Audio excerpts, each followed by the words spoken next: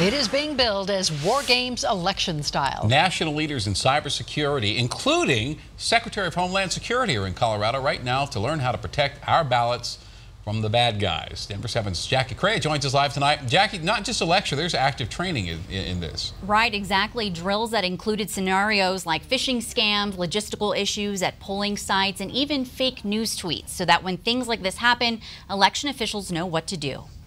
A battleground state, Colorado elections can come down to a few votes. Every vote is important. We want to make sure that voters know that their vote matters and it's going to be counted right. That's why Colorado Secretary of State Wayne Williams hosted election officials from all over to get ready for November, like Broomfield City and County Clerk Jim Candelarie. I've been doing this a long time and I still get nervous that I'm going to oversleep on election day, so I hardly sleep drills on anything from phishing scams to day of polling site issues were on the lesson plan. Thank you. The heating going out in a counting room. You know, what, what do you do in November and it's cold and it's snowing? To polling places not opening on time.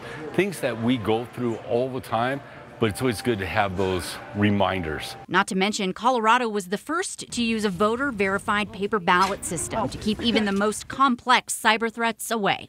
That enables us to assure you that your vote was counted accurately so that we know that nobody in Moscow or Beijing or anywhere else changed a single vote here in Colorado. In the 2016 elections, Russian hackers looked closely at Colorado's voting system but never breached it. It's still important to train everyone on the latest technology so Colorado can continue to lead the way. It's very much like a race that never has a finish line.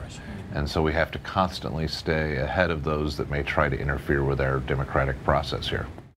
And so with November right around the corner, officials want to make sure they have voters' trust this coming election and to stop any outside threats from interfering with our voting system. I'm live in the newsroom. Jackie Crea, Denver 7.